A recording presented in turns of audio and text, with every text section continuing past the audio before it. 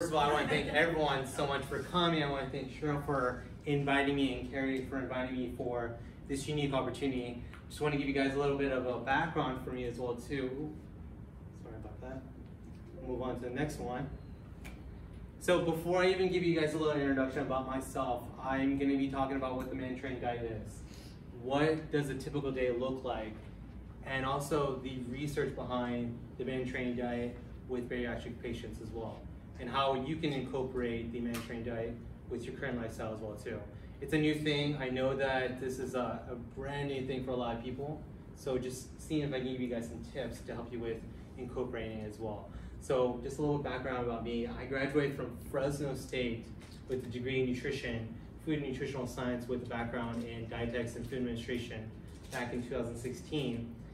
I'm 100% Portuguese. I even have I always carry this flag all the time with me all the time, just because of how much passion I am. And you'll see why I put that on there as well with the Mediterranean diet. The next thing is that I'm a grad student and a dietetic intern for the Auburn University for the master's program, dietetic internship program. And I'm currently doing my thesis research project on the Mediterranean diet. And you'll see here why it's highlighted, it's lifestyle. It's not per se a diet. The biggest thing is that people think about as this is one way, a short-term thing to do. No, it's actually a lifestyle that we do research on. And I'm doing it with the Portuguese older adult population in Turlock. And I'm also going to Italy in June, so to do a little bit more research on this topic as well too. So what is the trained diet? What did you guys, what did you hear about the trained diet before I even go on? What's the one thing you guys hear from it? Have you guys Fresh. heard about it before? Fresh. Fresh food, okay. Fish, perfect. What else on the side here? Whole Foods, perfect. I, you guys have a really good idea of what exactly what it is. Grains as well too, perfect. But before I move on, I'd like to add a comic here. If you guys can read it, it's you know I try to make it funny, lightful as well too. I'm a very comedic person, and the Mediterranean diet is supposed to be a very healthy diet. Can you write me a prescription for a vacation in Greece? So I like to try and make it uplifting and really. Uh, a community thing that I always put into my presentations as well too. So Dr. Ancel Keys, he is a American physiologist who studied the influences on diet with these types of populations. And he also was very famous for the Minnesota starvation diet back in the 40, uh, 1944 and 1945, seeing how the starvation mode was affecting uh, prisoner of wars back in World War II. So he's very famous uh, in the research field so he wanted to study the effects of our diet in America with cardiovascular disease. He did the seven country uh, study, and it's mostly a 25 year study that they study the risk and the uh, rates of heart attacks and stroke uh, correlated to the cholesterol rate in America. But, you know, who's the population? It's, there's a lot of people, about 12,000 males from 40 to 59 years of age, and they came from all over the world, from the United States, Northern Europe like France and Spain, uh, Southern Europe as well as uh, Portugal as well, and also Japan. So you'll see in this, uh, this graph right here, you'll see here that the Jap Japanese and the Mediterranean region had less deaths, but they also had less saturated fat consumption. You'll notice that you'll see a trend, this this white trend here, seeing the more uh, cholesterol or the more saturated fats percentage, the more likely of deaths from uh, cardiovascular disease. So he wanted to study that uh, in back in the 1960s. And so you'll see here the Mediterranean diet developed from just the research from the what he found. So this is not a, a diet that was established from there, it's actually from the research that they provided. They noticed that all out of the uh, Mediterranean regions were drinking uh, a lot of water. They were, you know, not a lot of sodas, mostly on the olive oil. So he noticed that and he developed this type of diet. He made this famous in this region.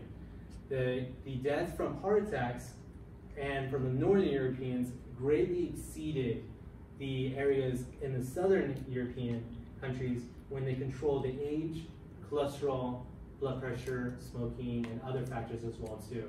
So you'll see here that when they put those aligned together, they noticed that the biggest difference that they saw was the consumption of how much saturated fats they were consuming along with cholesterol as well.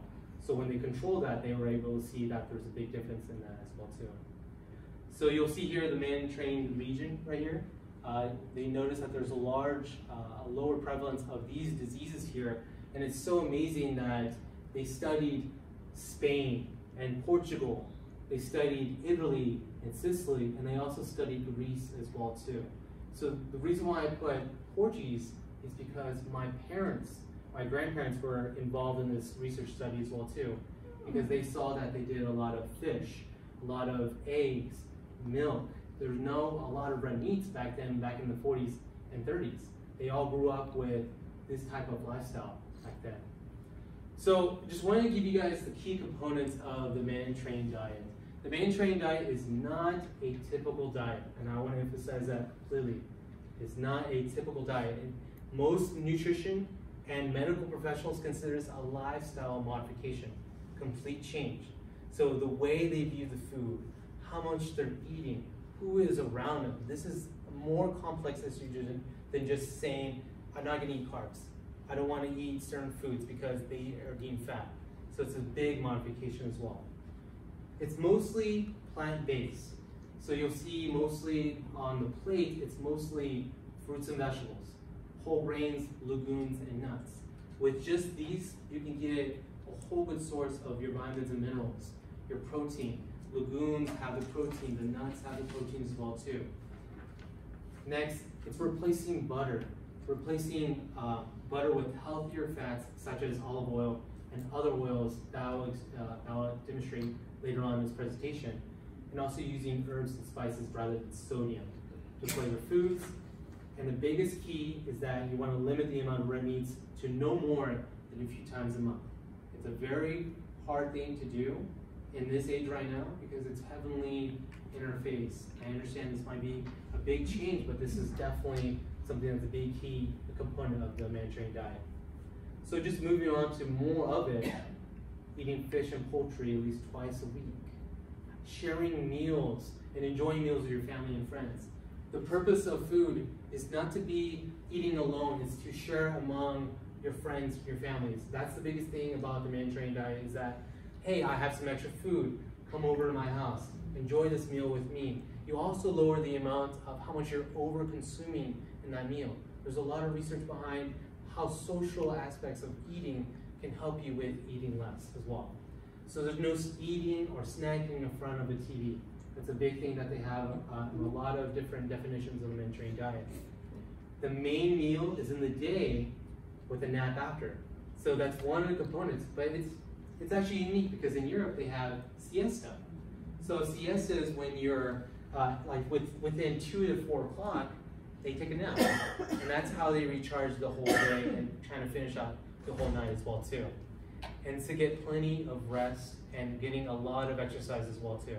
So getting a good amount of walking with your family, getting a good amount of, of stretching, of breathing, these are the key components of the Mediterranean diet. And you'll see later on that there's a pyramid that we have for the Mediterranean diet. So what does a typical eating pattern look like in the Mediterranean lifestyle? So just wanted you guys to look at uh, a common food practice that we see in Italy. And I will later see this in May and June as well too. A lot of it is farm to table foods. So when you see plants here and they're growing certain uh, vegetables and fruits, grabbing that and you'll be able to be eating that from straight to the source or straight to your table. That's the method of the farm to table uh, method for a lot of uh, organizations that we try to do give you to the farm markets. You get it from the farm market and you put it to your table. There's no in between. There's no middleman person. There's no snack foods. So the big thing about snacks is that having a fruit, having a vegetable, that is your snack and your dessert. So there's no processed foods. There's no chips. There's nothing in particular that they make, they grab and they process it through a factory. The main food, the main meal is eaten throughout the day, during the day at two o'clock. So I'm not asking you to eat at 2 o'clock, but this is a common food pattern that we see in Italy because of how the culture is working around how much we eat. So at 2 o'clock they eat and then they have a siesta. instead of having at 5.30 to 6 o'clock. So we have that common practice of eating so much food at 6 o'clock that we end up our night with feeling lethargic, feeling tired, and usually you're supposed to finish strong throughout the day like that. And you'll see there's a lot of vegetables, dishes, in olive oil as a main entree. So I'll show you guys a little bit more about that later in this presentation. And the fruits on your plates is your dessert. So that's the key component is that there is no desserts after dinner or lunch. It is your fruit on your plate. That is your dessert for that. And at least one meal shared with your friends and family. That is the number one thing that we do, especially in many European cultures.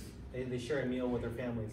A lot of us are conditioned to work, make more money, not sharing the, the special times we have with our families, which is a very component, important component of the Mediterranean diet. So I was just stating about earlier about the Mediterranean lifestyle pyramid. This is the foundation of it. You'll see here that there's the social aspects, dancing, eating with your families, walking, playing uh, physical act, uh, active, as well as the foods. And you'll see that I'll go over these each individually uh, very quickly for, for, for each of you guys, okay? The most important thing is that you're getting a good source of this in your, in your everyday meals, okay? So the vegetables. So we want to try to aim for about four or more servings per day. The serving size of vegetables, depending on if you cook it or if you eat it raw, the raw version is that you have it at a cup. When you cook it, it's about half a cup. So this is the serving size that we see about four or more of these every day. You want to try and aim for every single meal with this, with this uh, serving uh, serving size. I want to knock over my, my water. So the next thing is to be very creative. Make your plate very colorful. The key thing about vegetables is that they can be colorful. You can have a lot of spinach, you can have green and uh, green bell peppers, carrots, and you're just going to go over these uh, these specific ones you'll see in Italy uh, and Sicily, Portugal, Spain, and the Greece areas that they uh, share these common uh, food cuisines as well. You'll see eggplants, tomatoes. These are good sources of fiber, vitamin C, vitamin E, K. So the big emphasis is that try and make your foods more colorful as well too, okay? So the next thing is the fruits. The key component of the fruit is to make sure it's also colorful, it's fresh. You know, there's no discrimination about frozen or canned. Being smart about when you have canned fruits, if you're worried about the sodium, wash it off, put it through a strainer, be able to wash it off the excess of sodium that they may carry throughout the canning process. And also choose whole fruits instead of fruit juices. There's not a lot of research behind people drinking juice as a fruit uh, group in Italy. They do mostly their whole foods like that. Like exactly what you were saying from the beginning, whole fruits, whole foods as well. So you just want to make sure that there, there's just a few examples as well too here. The apples, the oranges, the bananas. These are key components as well too for the Mediterranean diet and you want to aim for at least a cup of of uh, fruits every day, okay? And you'll see here the avocados are actually shared. They're a fruit and considered a fruit and for a healthy fat as well too. So there's mangoes and peaches as well in Those are all things we have available to us here, right? Yeah. So it's not nearly impossible to get it from your local stores as well. So the next thing is that grains. So you want to try in the Mediterranean recommendation, it's around four or more servings of grains. And we're not talking about uh, cereals, they're talking about more on uh, pita breads, rolled oats. I understand that many of you are at, not at that point where you can consume the grains right now. But this is an important thing that they have in the Mediterranean diet. So at least get around two or three or four when you're ready, when your uh, bowel movements or your gut health is ready for uh, grains as well too, okay? So you'll have couscous, you'll have pasta of any shape or size, There's no discrimination about that. And also to have uh, brown rice or black red rice. You'll see most mostly in the Italy uh, area that they have these brown red rice that they can get from the fields. And white rice is not a big thing in Italy because we don't process, there's no processing in the Mediterranean region as well. So next, the fats. This is the, the fatty uh, part of the, the Mediterranean lifestyle pyramid. And it's mostly on just trying to get four servings of, not of a half a cup or a whole cup, but to get a tablespoon of your servings as well too. So you'll see mostly that olive oil is the principal fat of the Mediterranean lifestyle. It's because what they do is they do a lot of research behind how it may help you with your heart health and your brain health as well. So that's the main component of that as well too. So you'll see here I added some of the healthy fats that, that can be substitutes for extra virgin olive oil. So you, all these are very important for you to add into your everyday lifestyle when consuming a Mediterranean diet. And you'll see here that the avocado oil, yes, it is pretty expensive per liter, but you can always get the olive oil. That can be a good alternative for that. There's nothing really uh, organic. There's just extra virgin olive oil. That's the main thing we're trying for is that if you have that, doesn't have to be uh, different different marketing names. Isn't canola a processed oil? Yes, it can be. But it does big, there is a big um, research behind how it may help you. In excess of, yes, mm. if you're having around a whole layer of, of oil in your pie and you're frying that with like chicken or bread and chicken, yeah. that could be very, it just depends on how you utilize this well okay. too. Olive oil is the same way. Any type of fat that you use can be, can be, can be harmful for you in excessive amounts as well. But to go back to you, any oil that you see is processed as well. They have to get it from the natural state yeah. into an oil like that. But there's not a plant that's a canola. Correct. You see a lot of different uh, oils and vegetable oils yeah. like that. Exactly. Other fats as well as the avocados and, and olives as well too. And the nuts and fish. You'll see a lot of good source of mono and polyunsaturated fats in these types of food products as well too. So the beans and seeds and nuts. So you want to try to get a good variety. This is where your, your protein source is going to be in the Mediterranean uh, lifestyle.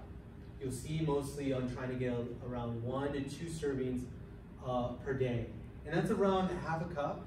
If you want to be very particular, the almonds that I have here, you want to try to get to half a cup. So this is a serving of nuts. It's about 24 almonds. It's about 14 walnut halves. Uh, the peanuts are about 28 of them in a serving. And I think, and I want to believe, and I wrote this down, there's 40 uh, pistachios in one serving. So you'll see when they're uh, shelled and they're put into the half a cup, that's around that area as well too. And so the beans as well too. So instead of using um, using uh, type of meat, you can always put hummus, and this hummus is a good source of protein as well for many individuals who are trying to be a vegetarian. Yes, go ahead. I read once though that um, nut and bean protein is not a complete protein unless you add a starch. Is that starch? Well, depending on like for beans and rice, those are the ones that complement each other because rice is missing an amino acid, right. and beans are missing an amino acid. And you're, I believe you're correct. You're very, very correct. So, but pairing these together is what's going to be a key component for as well too. They actually reset. It doesn't have to be a, the same meal. I mean, if no. you get starch in at one meal and beans at another, it should. Right. Be still good. Right. So they're looking more at variety now. So they, because just like you guys both were saying, right, they complement each other, but they don't have to be in the same meal uh, anymore. So that's kind of a old old school from my era. Um, but yeah, so they're not saying that you have to have them together anymore. Yeah.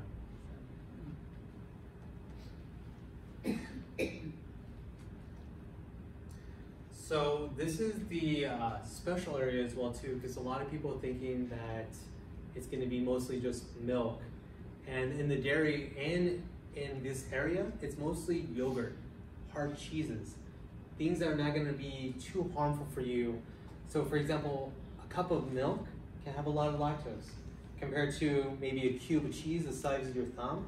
It's pretty low amount of lactose, which may not be harmful for you, especially on the position of where you're at in your surgery as well. So the big component about yogurt is that you want to try to get Greek or plain, something that, that's not added. No added sugar, no added uh, additives as well to give you more flavor. Greek is mostly trying to get a good amount of protein. So a good one would be the triple zero, the, I believe it's the Oikos triple zero. They do the good amount of source of protein, there's zero fat, zero added sugars, and they also, if you can correct me on this, the other zero might be on the fat, sugar, and any added additives, I think. It might be around that area. No, right, because they use Yeah. stevia. Yes. So they don't use sugar substitutes. Exactly. So it's a good it's a good uh, choice to use for yogurts as well. And so going to low fat milk, they do drink uh, milk, but not in an excessive uh, amount as well. And choosing any types of cheese.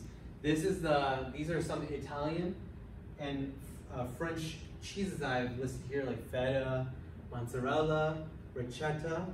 You were saying, go ahead. Um, I was just wondering, um, wouldn't you, the low fat milk, instead of being low fat milk, uh, be more like goat milk? Yeah, it can be exactly like that. But they try to aim for the uh, the recommendations in the United States as well too, because we try to make a big push about calories, how much calories there is as well. But goat milk is is found in Italy and France as well, and you, there is a good source of, of that. But depending on what you, what else you drink or what else you eat, it also plays a big part in your cuisine as well. But yeah, you could definitely go for the goat milk. I remember my parents, they have a goat milk plant right by their, their locker. And a lot of people ask about the same questions about the milk and goats. Is there a big benefit to it? There is, and there is a big benefit to uh, different types of milk depending on what you do. Like for example, almond milk may not have protein, but it's a good amount of lowered, uh, lowered calories. So there's benefits to a lot of different milks that we have available for us as well. Some people that are lactose intolerant, that's a good source as well. So these are different types of cheeses that you'll see that you can get from your uh, local farm market, and they can always be a good source of dairy for you as well. What is a serving of cheese? Serving cheese. So cheese would be uh, one ounce or the size of your thumb. The milk is around half a cup. So you want to try to get to, to this right here. Half a cup right here. So yeah, you can use your thumb. It's a good uh, a good thing to use for your serving size. But you know, if you want to get the block, you want to make sure that you get a, a good size when you cut your cheese. You want to make sure it's around the size of your thumb, like that. Okay. Go ahead. Most of those are white. Is there a difference between white and yellow cheese? Well, yellow cheese in I can speak for the American version of yellow. There's a lot of different American cheeses that are heavily processed. So a lot of the cheeses that they, you see here are mostly the goat cheese, mostly the cow milk cheese. So every single uh, animal produces a good variety of fat content, of sweetness. So depending on how you uh, finish or how you feed your animal in Italy provides how much good your cheese will be later on. So if you're a big, big fan of cheese, you want to go for a more fattier taste, the goat cheese would be a good source of that good taste compared to milk, uh, cow milk as well. So, So- like, you're saying like cheddar has more process. It can be more processed like that as well. So just depending on what they do, how they uh, how they process that cheese. Mhm. So there's nothing wrong with consuming that type of cheese, but making sure that you're getting a good amount of calcium, and making sure you lower the amount of calories you're consuming. That's the key thing as well too. So the fish and seafood, you'll see here that it's in this area now. So now we're going up a little bit more, and you see that they want to try to get to around two to three servings per week. So not just per day, per week. So it's not, in, in this cuisine, it may be very easy because a lot of people are fishermen. My parents, uh, my, my uh, grandparents were fishermen. They were able to provide and be able to, uh, to save these animals through salting and whenever they're ready to consume them, they wash it off, and they would make it into. I know it's a little bit, it's a little rough to imagine, but back then in the 50s and 60s, they that's how they provided uh, preser- uh, preservation. Yeah, the. So it's, I know it's a little bit rough to get that salty It's taste. I really bad. So it's a good source of omega threes. This is the type of fat that you'll see that are very healthy for our hearts and for our brains as well too. You'll see that in salmon, tuna, sardines, artichokes, clams, oysters, mussels. These are uh, these shellfish right here as well too. Uh, and you know this is big cuisine as well in, in this area as well. But I wanted to be very careful about when I add shark, uh, sorry, not shark, sorry, swordfish, because it is a secondary uh, secondary predator. It means it feeds off of other fish. You'll see mostly more mercury in this uh, fish product here. So if you choose the other ones, you'll get on the bottom of the, the totem pole, where you'll see less amount of mercury if you're worried about that particular uh, particular mineral in your in your system. I have a question. Yes, go ahead. I know fresh is best, but is like canned tuna still a good option? You- If you're worried about a drench in oil, you can definitely wash it off and try to see if you want to lower the amount of calories. That's my suggestion. I wouldn't say it's necessarily bad. Like they have tuna in water, that's fine. That's completely fine. That's my personal belief. It's completely fine. If it's um, if it's like added with like sodium or different types of, of additives, Yeah. then you want to wash it off and try to put it through a strainer to help you out. Go ahead. Do you get more of a benefit of fresh seafood than canned? Because Well- on the aisles, there's a lot of canned Yeah. tuna, sardines, shrimp, Yeah. You know. So it, it just depends on on you. If you want to, if you have something planned and you have fresh fish that you can prepare on a grill, and it works perfectly with what you have. Like for example, if I would want, like for my cuisine, uh, there's a lot of sardines, and we get them fresh from the fish market, and we add a lot of soup, potatoes, green beans, other vegetables that we can be able to provide that taste. If you are someone who's just want to snack on some fish, canned fish, and you wanted to put it in like in a in a salad, mm-hmm. it just depends on what you want to do. What, whatever's more convenient for you, whatever's easier for you at that time. Okay. Like we was saying earlier too, right, a lot of times when things are canned or processed, you've gotta watch the added fats, the oils, the salt, that type of thing. So that would be the other difference, but, you know, otherwise, if you're getting it like packed in water and it's not full of salt, then sure, that would be still a good alternative. But would calorie count change with canned stuff compared to fresh? No, only if you're adding oil to it. Yeah, Yeah. no.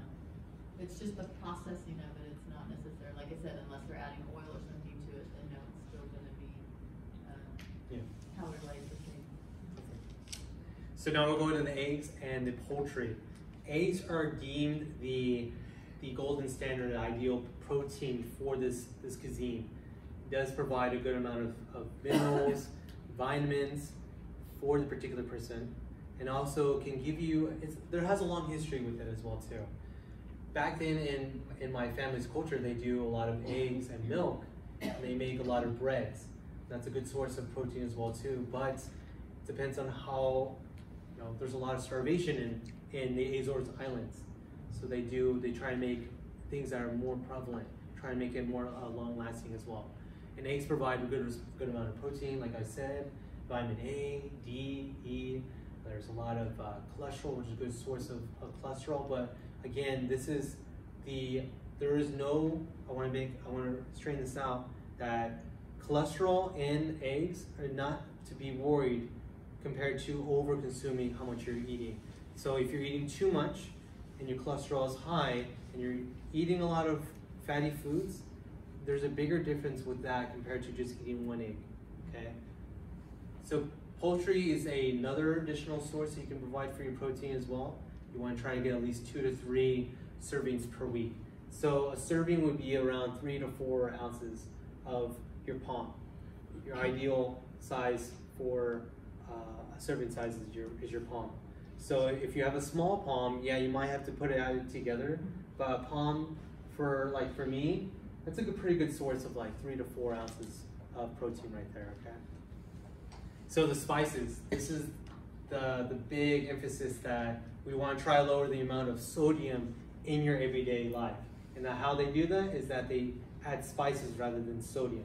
So Mrs. Dash is a big thing that we try to incorporate into other people's lifestyles because it provides spices and not just not not so no sodium as well. So basil, bay leaves, you have pure puri puri. I don't know if I'm saying that correctly. Puri puri, mm-hmm. pepper, the garlic, lavender, nutmeg, oregano, paprika, paprika, and rosemary. These are things that they would add onto the dish along with their salads, their soups, just to make it tasty and along with lowering the amount of sodium. So if you're someone who's worried about the high uh, high blood pressure, this is a, a, big component as well too for that as well. And sage and saffron.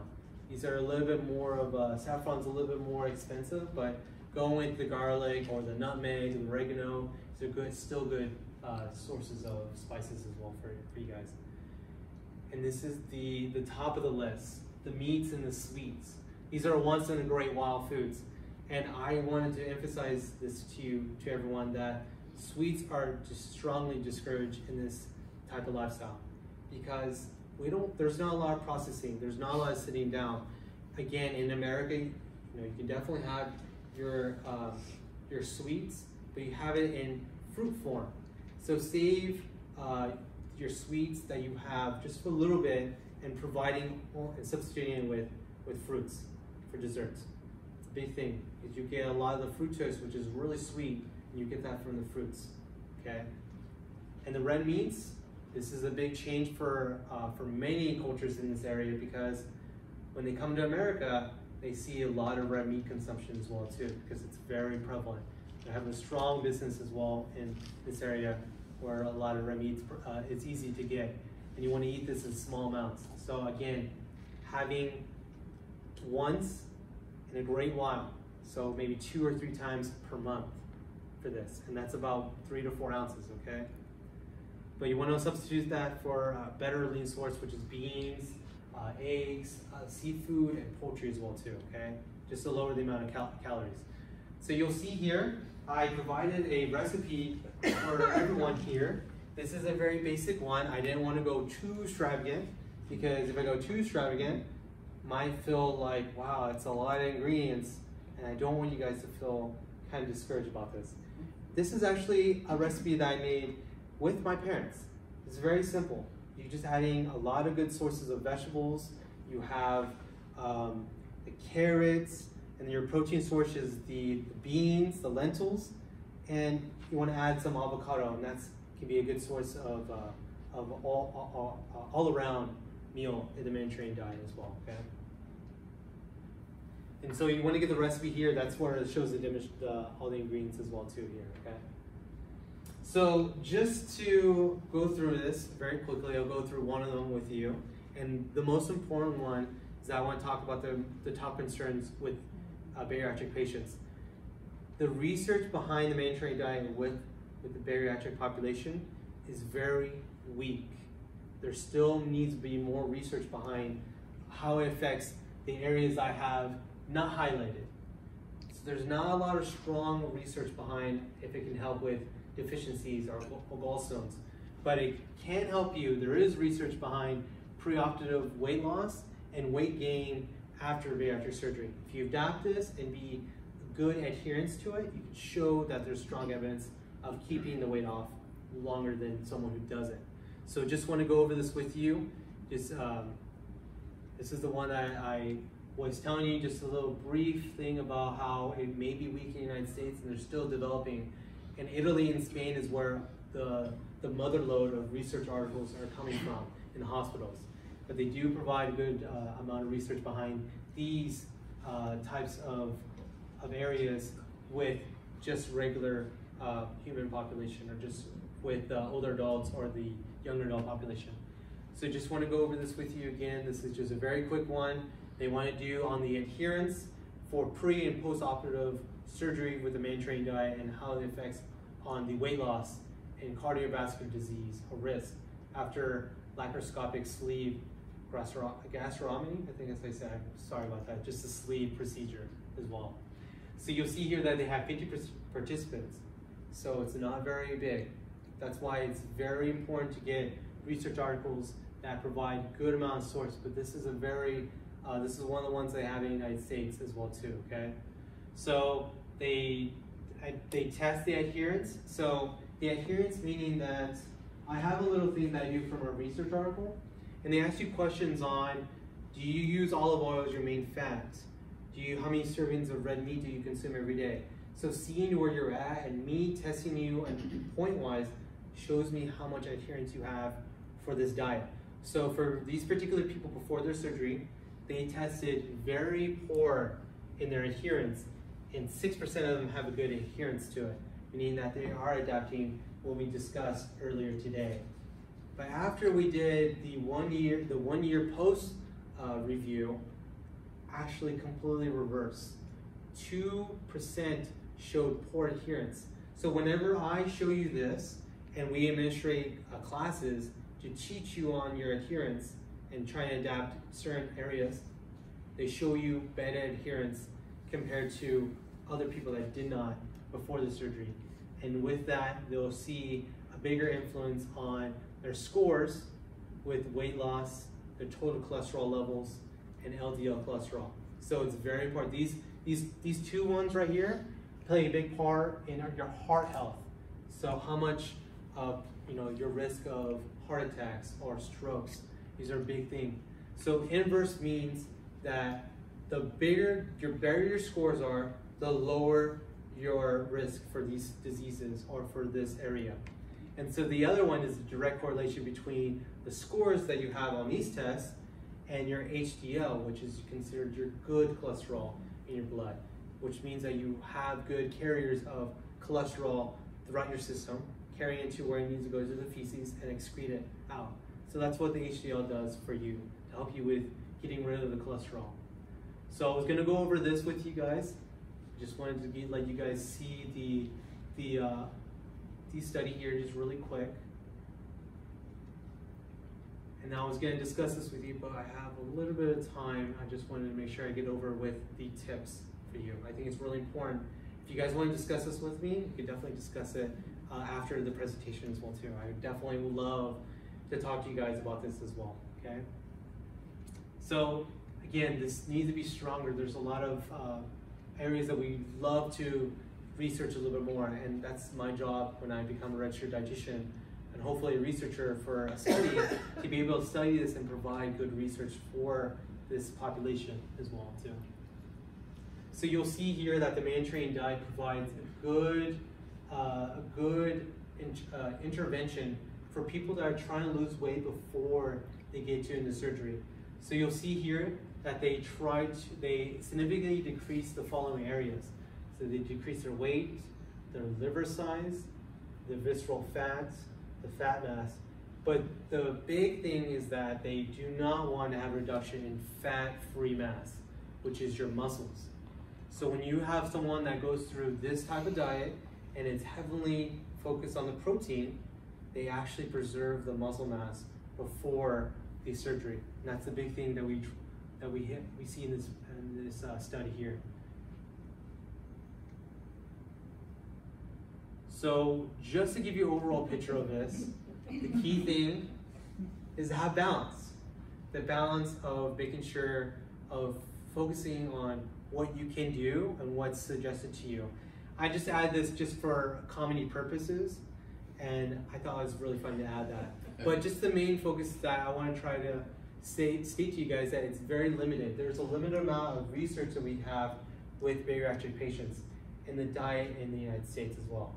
But there is a significant reduction in visceral fats, fat mass, uh, the weight without muscle loss in this population. So again, 30 participants that are males. So we do need a little bit more research behind it, but it does provide a good of, of leeway for someone who wants to perfect that study as well. So a better adherence to the Mediterranean diet provides good reduction in the fat-related lipid panels in this area and also provides improvement in the HDL, okay? So the last one is the adherence to the diet is actually better, demonstrates better compared to uh, compared to physical activity when when regards to quality of life and the magnitude of the weight loss and the uh, tolerance to the diet. So how hard is the diet to incorporate into your lifestyle? That's what they uh, did a study on, okay? So how can I incorporate the Mediterranean diet into my lifestyle? So I just want to give you guys some honest tips. I provided some tips of, of my from a booklet that I got from the Mediterranean diet from my uh, from my research uh, advisor. And you want to involve other people. You're not doing this alone. The, the key thing is that if you want to incorporate this, invite other people. Try to experiment a little bit more and examine your schedule. See where your availability is at. For a lot of people, it's the weekend. So trying to plan your meals out in the weekend and cooking on the next day provides a good foundation for you to when you're cooking as well. So anticipate the obstacles you'll see, especially in, um, in, in this population. You know, as you're seeing how you tolerate the foods, seeing how well things go down, being safe about it. So anticipate the obstacles you'll see here. And also seeing the foods that you can appreciate in your lifestyle. So I'm not asking you to eat a fish, fish eyes, because that's not, that's unrealistic. To see like where you're at with your lifestyle, you can always get the fruits and vegetables you see at the farm markets or the local uh, stores. So there's nothing too dramatic as well too. And getting familiar with the ingredients and styles of cooking that you have right now. So seeing how much oil you put in your pan, see how much salt you put in your cooking. Try to get familiar with what you can improve as well too. And prioritize your goals. Seeing what's more important. Is it the is it the uh, cooking new meals? Is it trying to make new recipes? So just prioritizing what, what you can do with your lifestyle as well too. So just going over a little bit more about this. I think it's really important that you follow your MD recommendations and your RD recommendations. So if you're willing to try something, try see if it can work with an RD or with your MD. Don't try to go overboard and trying to put different things in your stomach that you not may not be allowed to, okay? And making the appropriate menus with your stage of your bariatric surgery. So if you're in week one, you want to try to incorporate this, it's gonna be a little bit hard. So again, you can do the soups, you can do the, the liquids, and you can make, uh, you can get the broth out of the soups, but trying to be understanding of where you're at right now, it takes time. Just like adapting this diet, it takes time as well. And making grocery lists, I can definitely talk to you about this a little more after the presentation. Seeing where you can, uh, it's not hard, just making sure you see other, you see the foods that you're you're getting and how to make that in a recipe. That's the key thing. And it takes, it's a week long process as well. My key thing is that don't cook on days that you shop and prep. It can be very hard to add into a new lifestyle.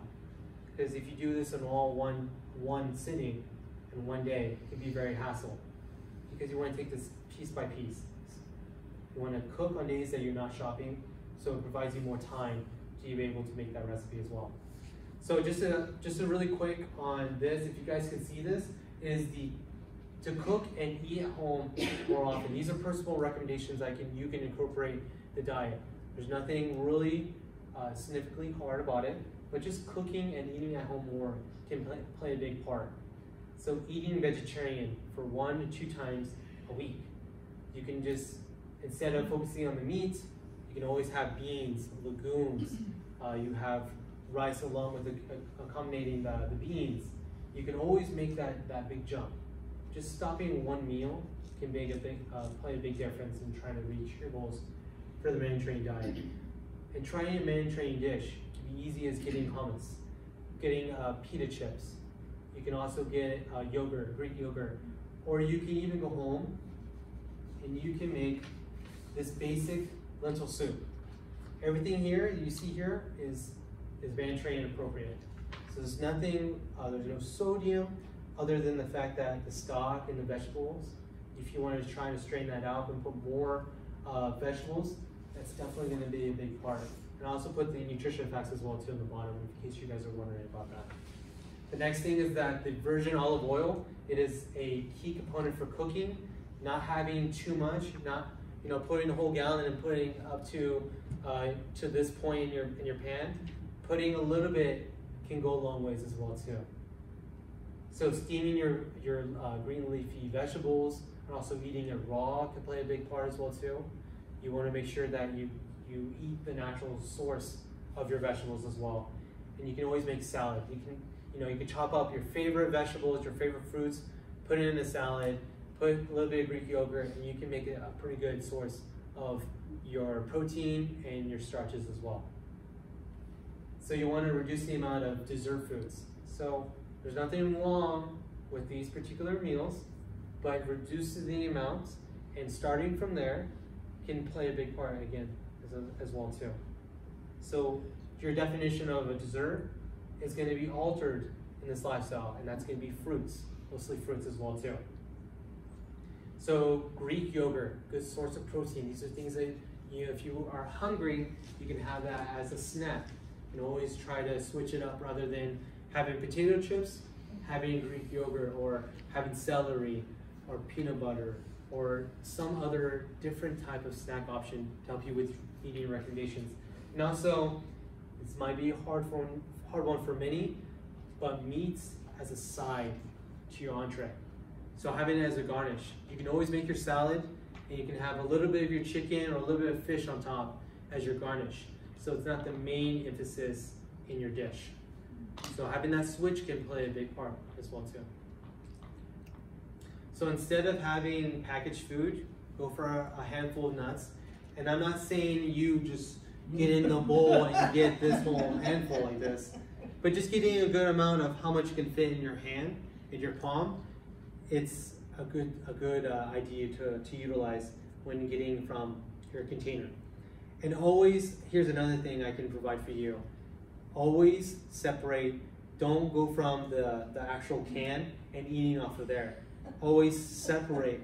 So you have a hand, you scoop it up a little bit, put it in your hand, separate it from where it needs to go, put it separate from you, and enjoy that.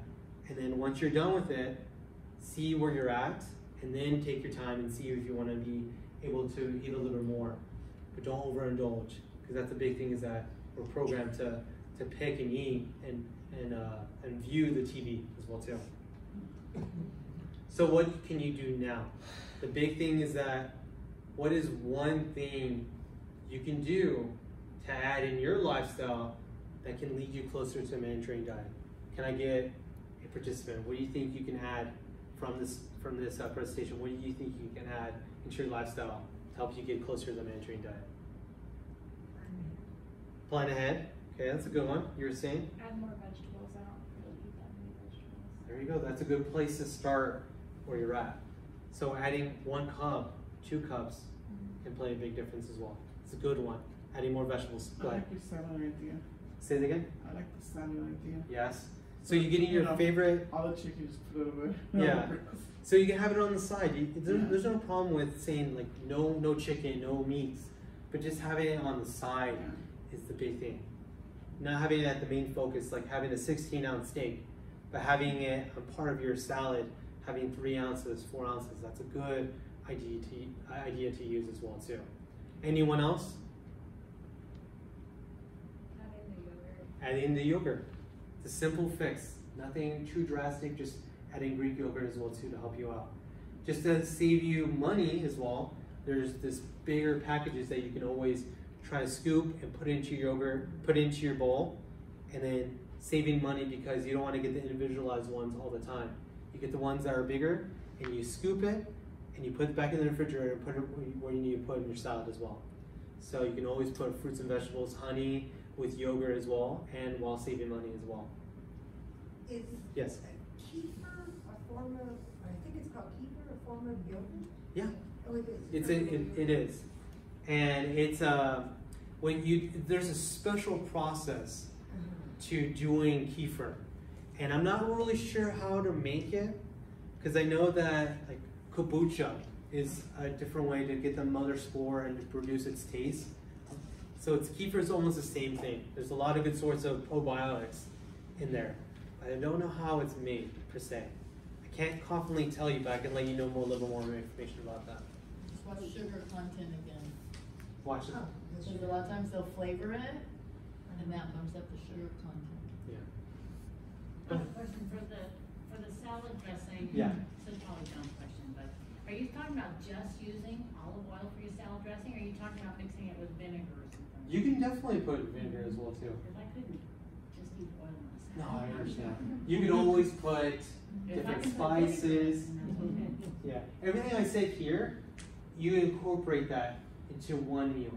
So spices, olive oil, you can do other So fruits. vinegar is good. You can do vinegar as well. If you're doing like the iceberg lettuce or the mixed greens, like yeah, vinegar, olive oil, that's a good combination as well. But what you can do better is that you can always add a little bit more of the vegetables. You can add a little bit of seeds along with that to make a more complete meal as well. Just to get more flavor and spices as well. Lemon is good with, um, I use avocado oil on my salad. And I squeeze lemon with a little bit of garlic and it's awesome. You just made you just made me hungry right there. 'Cause that's a good suggestion. Lemon is also a good suggestion to to add into your salads as well to give it that juicy flavor. I even do it on my vegetables, my steamed vegetables. Yeah, good. Just the lemon, not the oil. So thank you so much for your guys' participation as uh, as well too. So I just provided all my references that I have here. These are the ones that you will see here on the study, and there's some that have the picture and for the other studies as well too to accompany my my research, and also have another one from my books that I provided in this as well too. So when I was given this opportunity, I definitely wanted to play, you know, I wanted to be focused on this and provide you some good resource uh, articles. I don't want to do this from nearly from my experience. I want to provide you guys the optimal suggestions and research behind this this uh, topic as well too. So, do you guys have any questions? We have ten minutes until the end. Go ahead, you're first. If you wanna get out of the fog, there's a store called Casa Viva in Mariposa, Okay. and they do their own, they process their own olive oil Okay. with, um, spices and other things added to it, as well as vinegar. Mm. And they give you suggestions on mixing the two together, and their, the dressings they come up with for the restaurant is only open a couple days a week. Perfect. It's really good. Let's talk after. I'd love to get that the info as well too. You have your hand up. Are you gonna give us a recipe for the, the soup? Yeah, the soup is right here. Here? Oh, okay, got it. Yeah. Okay, okay. It's this back one right here. Yeah, so we have the lentil soup, and then we had another chicken recipe on the back side too. Oh, okay. Anybody else I'll take one. See it. wanna copy Perfect. that? Thank you. Mhm. So use this recipe as your baseline. You can always add more things into it. This is just suggestions. This is something that's appropriate for the Mediterranean lifestyle. Does anyone else have any other questions as well too? Definitely love the questions. Go ahead. Where does cottage cheese fit into this? Cottage cheese fits into the dairy and also the protein sources as well too. Okay. So you can dairy and for an alternative for protein as well. So you can always add uh, uh, cheese into your salads. It can also be a good part into your uh, into your uh, entrees as well. So just trying to see what it can incorporate. Be creative. That's the main thing as well too for this as well too. Do you guys have any other questions? Um, how, much soup does this make? This makes about four servings of a cup. Okay. So you'll see once when you I put the when when we put the liter of stock in there and you're boiling it, a lot of water escapes and you'll see about a serving of a cup. So if you can if you're really hungry, you can definitely have there's two servings in there with you and someone else as well. Go ahead, your In the question. pyramid, there was wine, where does that fit in? So wine is not suggested. I was thinking about the same thing. And I purposely did not put that on there because I want to be appropriate for you guys. It is a part of it, but you want to talk to your ND, you want to talk to a registered dietitian about that because that is a suggestion that you would want to talk to them. And I would not recommend it at any point to me because I want you guys to be safe about it. Do you guys have any other questions? I definitely love the questions as well too. So we're gonna take just a little second while you yeah, guys are thinking of questions. did everybody put in a raffle ticket? Anybody not get a raffle ticket in? Did you get one or no? Okay, anybody else that didn't get a raffle ticket?